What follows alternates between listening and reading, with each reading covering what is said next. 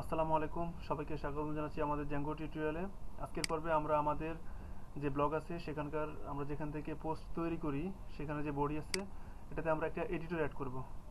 তো এডিটর কি সেটা জানার জন্য আমরা এখানে একটা ওয়ার্ডপ্রেসের যে পোস্ট তৈরি করার এডিট যে এডিটর আছে, সেটা আমরা দেখি। এখানে দেখতে পাচ্ছেন অনেকগুলো টুলবার আছে টুলবার অনেকগুলো আইটেম আছে। আমরা চাইলে যে কোনো ধরনের স্টাইল অ্যাপ্লাই করতে পারি আমাদের লেখাগুলোর মধ্যে। আমরা চাইলে এটাকে এই সমান দিতে পারি। তারপর চাইলে আমরা এগুলোকে লিস্ট আকারে সাজাতে পারি। অর্ডার লিস্ট আকারে আনার লিস্ট আকারে। আমরা চাইলে কোনো একটা আইটেমকে বোল্ড করতে পারি ইটালিক করতে পারি। তো সেই, সে ধরনের স্টাইলগুলো যাতে আমাদের বিভিন্ন পোস্টগুলোতে হয়। এখানে আমরা যদি কোনো একটা পোস্ট করি, সেটার বডি যাতে আমরা এরকম বিভিন্ন স্টাইলিস্ট করতে পারি, সেই কাজটা আজকে আমরা করব। আমরা যদি এটাকে পাবলিশ করি, তারপর ভিজিট করলে আমরা দেখতে পাবো যে আমরা যেভাবে এডিট করেছিলাম, সেভাবে এগুলো এখানে দেখাচ্ছে। এডিটরে যেভাবে আমরা কাজ করেছি, সেভাবে এখানে দেখাচ্ছে। তো এই কাজটাই আমরা আজকে করব। আমাদের প্রজেক্টের যে বডি আছে, এখানে আমরা একটা এডিটর যুক্ত করব। জ্যাঙ্গোর একটা বিল্ড এডিটর আছে, সেটা হচ্ছে জ্যাঙ্গো সিকে এডিটর আমরা আজকে সেটা এডিট করব। তাহলে আমরা গুগলে জ্যাঙ্গো সিকে এডিটর লিখে সার্চ করি।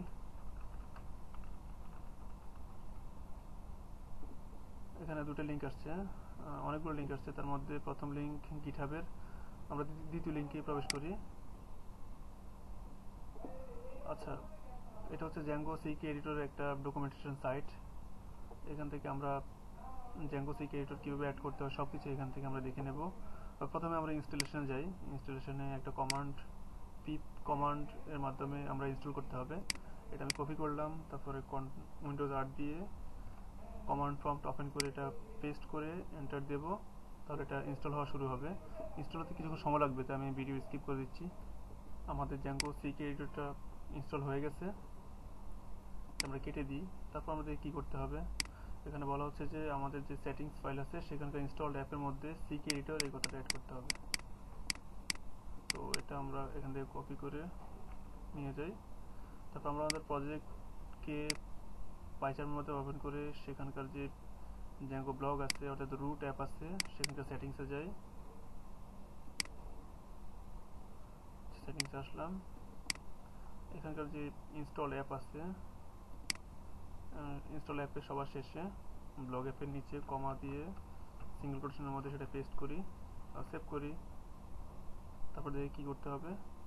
এরপর বলছে একটা কমান্ড লাইন রান করার জন্য বলছে যে Python space manage dot py space collect static অর্থাৎ এটার মাধ্যমে জ্যাঙ্গো যে সিক এডিটর আছে, সেখানকার যে জাভাস্ক্রিপ্ট এবং সিএসএস ফাইল আছে, সেগুলো কালেক্ট হয়ে আমাদের স্ট্যাটিক যে রুট আছে, সেখানে এসে জমা হবে। তাহলে আমরা দেখিনি আমাদের স্ট্যাটিক রুটটা কোন জায়গায় আছে। এটা অবশ্যই আমাদের সেটিংসের মধ্যে আছে। স্ট্যাটিক রুট এটা আমাদের স্ট্যাটিক যে ডিরেক্টরি আছে, সেটার মধ্যে আছে। অর্থাৎ যেখানে আমাদের এসটিএমএল সিএসএস আছে সেটার মধ্যে আছে। তাহলে আমরা আমাদের কমান্ড উইন্ডোটা চালু করি। এখান থেকে আমরা সেই কাজটা করি। এখানে লিখব Python space manage dot py space collect static এটা প্রায় তেরো, চোদ্দোশো ফাইল এটা কপি হতে কিছু সময় লাগবে। তা আমি ভিডিও স্কিপ করে দিচ্ছি। ওকে আমাদের ফাইলগুলো কপি হয়ে গেল, তেরোশো আটান্ন ফাইল তারপর যেটা করতে হবে, আমরা দেখিনি কি করতে হবে এরপরে। আচ্ছা এরপরে আমরা যেটা করব, সেটা হচ্ছে যে আমরা আমাদের যেহেতু সিকিউরিটি অ্যাড করছি সেটা আমাদের বর্তমানে যে মডেল আছে, সেটার মধ্যে পরিবর্তন করতে হবে। অর্থাৎ এটা এখন আমাদের যে আর্টিকেল আছে, সেখানে ভিতরে যে বডি আছে, এটা টেক্সট ফিল দিলে এখন আর কাজ করবে না।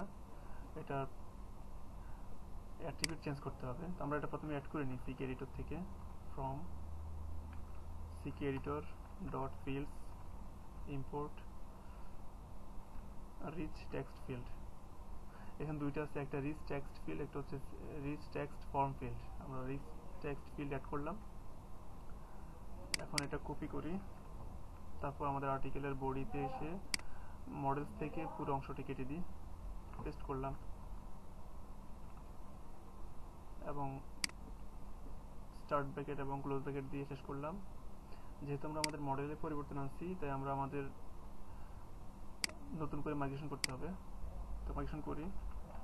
Python space manage dot py space make migrations space blog app enter দিই তারপর যেহেতু মাইগ্রেশন নতুন করে তৈরি করছি, এটা মাইগ্রেট করতে হবে। ওকে আমাদের মাইগ্রেশন হয়ে গেছে। এখন আমরা যদি আমাদের প্রজেক্টটাকে একবার রিরান করি তারপর এখানে এসে আমরা যদি রিলোড করি, আমাদের কোনো পরিবর্তন হবে না আসলে।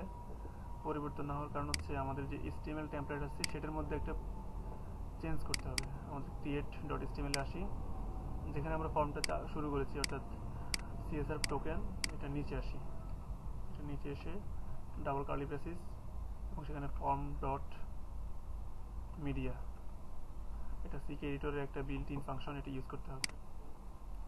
আবার প্রজেক্ট প্রজেক্টকে রিটার্ন করি। এখন যদি আমরা এটাকে রিলোড করি, তাহলে দেখতে পাচ্ছেন এখানে সিকে অ্যাড হচ্ছে। আমরা চাইলে এখানকার যে কন্টেন্টগুলো আছে, সেগুলো কপি করে এখানে পেস্ট করলাম। চাইলে এটাকে আমরা বিভিন্ন স্টাইল অ্যাড করতে পারি, ছোট করতে পারি বোল্ড করতে পারি ইটালিক করতে পারি আন্ডারলাইন করতে পারি। আচ্ছা আমরা এটাকে বেশ কয়েকবার পেস্ট করি। তারপর কিছু অংশ আমরা নিচে নামিয়ে দিই। এই অংশটা আমরা প্যারাগ্রাফ রাখি। নর্মাল রাখি এবং কোনো আন্ডারলাইন দেবো না ইটালিক থাকুক এখানে টাইটেল দিই। দিস ইজ টাইটেল একটা ইমেজ সেট আপ করি। ওকে তারপর ক্যাটাগরি দিলাম একটা। এখন আমরা যদি দেখি আমাদের পোস্ট এটা হয়েছে দিস ইজ টাইটেল দেখাচ্ছে। কিন্তু এখানে কোনো কিছু ঠিকমতো আসতেছে না। এখানে এসটিএমএল কোড ডিরেক্টলি দেখাচ্ছে। তো সেটা দেখানোর কারণ হচ্ছে আমাদের যে সিঙ্গেল ডট এসটিএমএল ফাইল আছে টেমপ্লেট ডিরেক্টরির মধ্যে, সেখানে আসি। সেখানে যেখানে আমরা বডি প্রিন্ট করছি, সেখানে চলে যাই একেবারে। আমরা বডি প্রিন্ট করছি এখানে, একান্ন নম্বর লাইনে এখানে চিহ্ন দিয়ে তারপর এখানে লিখতে হবে সেভ সেভ করি। এবং একবার রিটার্ন করি। এখন যদি আমরা রিলোড করি, তাহলে দেখতে পাচ্ছেন আমাদের পোস্ট ঠিকমতো দেখাচ্ছে। আমরা চাইলে এই পোস্টটাকে যদি এডিট করি আচ্ছা আমরা একবার এডিট করি পোস্টকে সরি যেমন একটা পোস্টকে এডিট করি। আমরা চাইলে এখানে একটা ইমেজ অ্যাড করতে পারি। ধরুন আমরা এখানে একটা ইমেজ অ্যাড করব। কিন্তু ইমেজটা এক্সটার্নাল একটা লিঙ্ক থেকে অ্যাড করতে হবে। আমরা একটা ইমেজ আপলোড করতে পারব না। কারণ আমরা ইমেজ আপলোড করার সিস্টেম এখনও তৈরি করিনি। আমরা একটা ইমেজ নিই ন্যাচারাল ইমেজ এন্টার দিই যে কোনো একটা ন্যাচারাল ইমেজ সিলেক্ট করি এবং এটা sorry open image new window এটা একটা ইমেজ অন্য একটা ইমেজ নিই আমরা। ওকে ইমেজটা লিঙ্কটা আমরা এখানে দিয়ে দিই পেস্ট করলাম। ওকে দেবো। দেখতে পাচ্ছেন এখানে সেই ইমেজটা চলে আসছে। আমরা যদি এখন পাবলিশ করি এবং এটা আমরা এই পোস্টে করেছি, এটা কত নাম্বার পোস্ট? একত্রিশ নম্বর।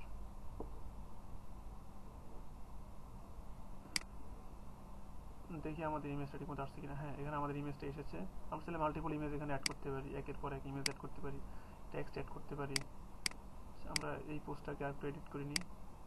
আমরা এই পোস্টের নিচে আরও কিছু লিখি। আমরা আমাদের লিঙ্কটাই পেস্ট করে দিলাম এখানে, তারপর পাবলিশ করি। আবার গিয়ে দেখি আমাদের লিঙ্কটা ঠিকমতো আসছে কিনা। হ্যাঁ আমাদের ইমেজের ইমেজের নিচে একটা লিঙ্ক আসছে। আমরা চাইলে মাল্টিপল ইমেজ অ্যাড করতে পারি, বিভিন্ন ধরনের লেখার বিভিন্ন ধরনের ভেরিয়েশন আনতে পারি। তাহলে এখন আমরা কীভাবে আমাদের পোস্টে নতুন একটা ইমেজ অ্যাড করব, সেটা আমাদেরকে জানতে হবে। অর্থাৎ এখানে তো ইমেজ এক্সটার্নাল লিঙ্ক থেকে অ্যাড করতে হয়। আমরা ইমেজ আমাদের এখান থেকে আপলোড করব, আমাদের ডেস্কটপ সার্ভার লোকাল সার্ভার থেকে আপলোড করব। সেটা কীভাবে করব, সেটা আমি নেক্সট পর্বে দেখাবো। আজকের পর্ব এই পর্যন্তই। পর্বটি দেখার জন্য ধন্যবাদ। আসসালামু আলাইকুম।